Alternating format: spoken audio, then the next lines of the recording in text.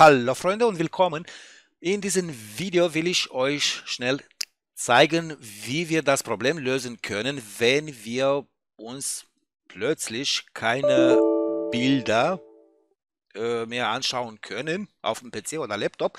Und zwar beim Versuch ein Bild zu öffnen, bekommen wir die Fehlermeldung hier. Äh, es kann vielleicht auch eine andere sein, eventuell die Lösung wird, denke ich, die gleiche sein und ja, das geht ziemlich schnell und einfach. Und zwar müssen wir die Foto-App in dem Fall reparieren. Einfach die Windows-Taste hier drücken, nach unserer App suchen, in meinem Fall hier Fotos. Ja, das gilt übrigens, äh, das kann man auch so machen, ja, auch für andere Apps.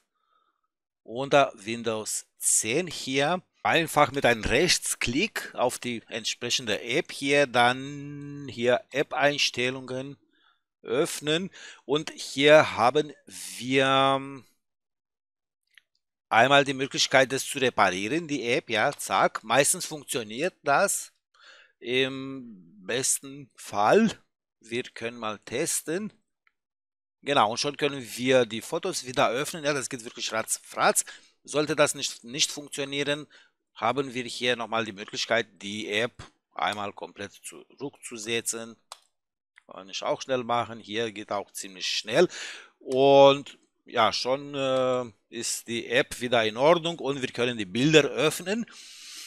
Kann man, wie gesagt, mit anderen Apps äh, gibt es die Möglichkeit auch, die zu reparieren oder zurückzusetzen.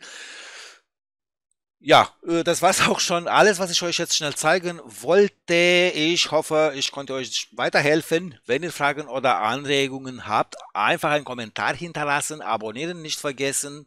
Über ein Like freue ich mich natürlich auch. Danke fürs Zuschauen und bis zum nächsten Mal.